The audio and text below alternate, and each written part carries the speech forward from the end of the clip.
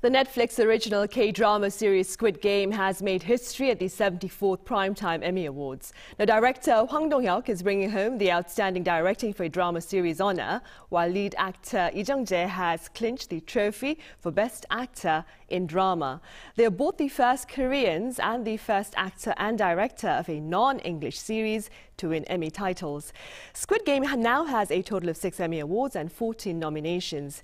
Earlier this month, the show secured the other four Emmys during the Primetime Creative Arts Emmys Awards, which honor stellar artistic and technical achievements.